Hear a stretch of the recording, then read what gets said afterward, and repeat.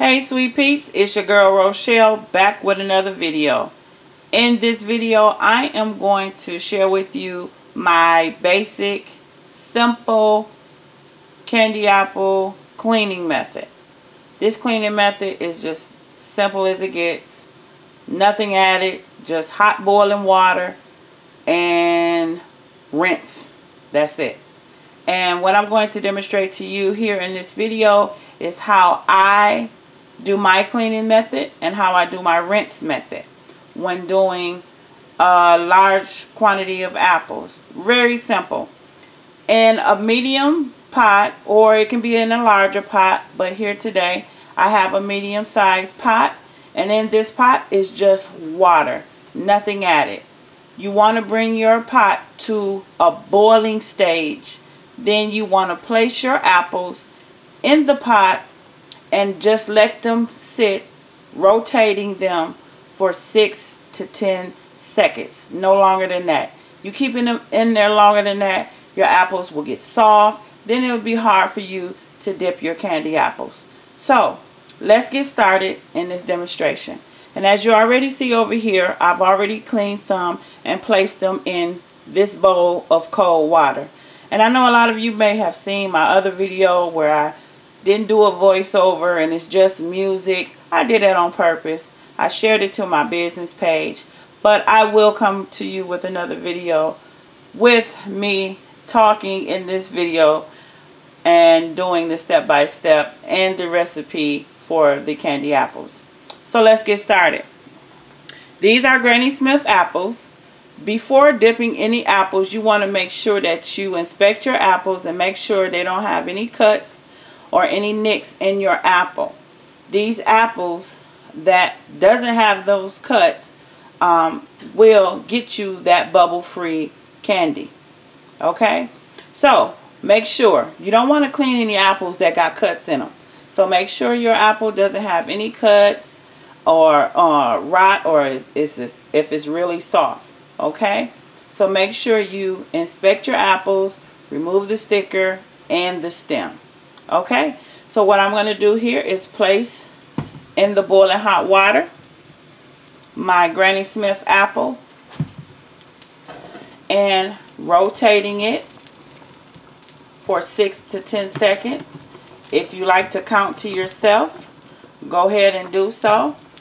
And as I count, one, two, three, four, five, six, seven, eight, nine, ten. Doing this cleaning method removes wax from your apples. As I remove these apples, I'm placing them in a bowl of cold water. This is my cleaning method. This is the cleaning method that works for me. And it does an awesome job with removing the wax from your apple.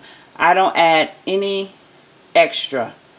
If your apple seems that it still has wax on it, it's okay to place your apple black back into the pot and rotate it a little more. But you will begin to see your apple turn brown or so and that's okay. They're supposed to look like that because all the, the wax is removed from the apple. So as you place it in the boiling water, um, out of the boiling water and place it in the cold water. Now it don't have to be this size bowl. It can be a bigger bowl or your dish pan full of cold water. That's fine. That's your rinse method. Make sure it's nothing but cold water. Once you have rinsed, you can take it out and your apples will look like this okay? Having a white residue on there is fine. You can take it completely off. But what you want to do is dry your apples completely. And after drying them you want to sit them out lined up neatly and let your apples sit for 24 to 48 hours. 24 to 48 hours the reason for letting your apples sit. because there is sap that comes out of the apples. It's a sticky residue. Once that is out, once they come out of the apples, you want to wipe them before dipping. So I just wanted to share with you real quickly my cleaning method that I do and this is it. So I hope you all enjoyed this simple cleaning method and remember to always dry your apples and place them on a cloth and you are ready for dipping. Any questions about this cleaning method, leave it in the comments below. And don't forget to subscribe to Your Sweet Connection. Give a thumbs up for this video and share.